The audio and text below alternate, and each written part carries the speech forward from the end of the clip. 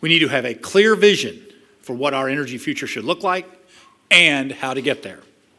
With those words, Governor Nixon announced the signing of Executive Order 14 06, launching the development of a comprehensive state energy plan. The governor made the remarks during a speech to Midcontinent Independent Service Operator, MISO stakeholders in St. Louis. Under the governor's order, the Missouri Department of Economic Development's Division of Energy will gather input from Missourians around the state and submit a final report by May 31, 2015.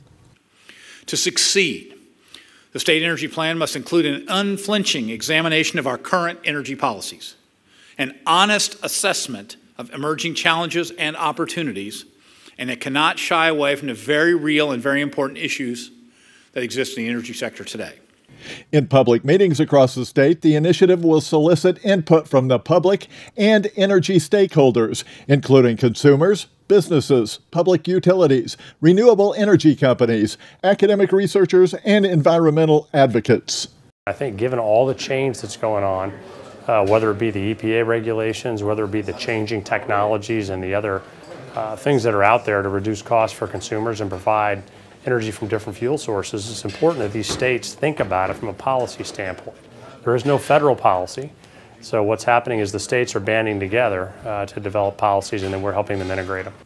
Over the past five years, Governor Nixon has made clean, reliable, affordable, and abundant energy a priority of his administration.